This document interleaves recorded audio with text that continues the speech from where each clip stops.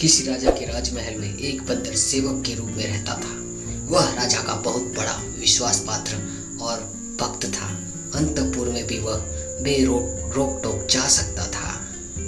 एक दिन जब राजा सो रहा था और बंदर पंखा चल रहा था तो बंदर ने देखा एक मक्खी बार बार राजा की छाती पर बैठ जाती थी।